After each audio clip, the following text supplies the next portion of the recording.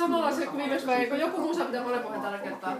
Ja, ja moni äänestäjä, suurin osa äänestäjä. Koska edellinen Maria otettiin äh, demokratialle, niin viimeisesti otetaan, Äänestää. otetaan Pekalle. Otetaan Pekka Haavistolle. Niin, Pekalle Ei, ja ei voi Antti Jytkylle.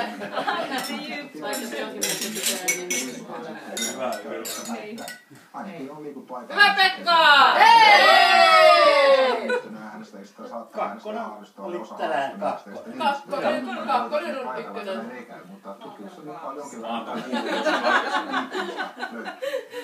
No, ääniähän ei tänä päivänä enää oikein ehdokkaatkaan voi testamentata, kun, kun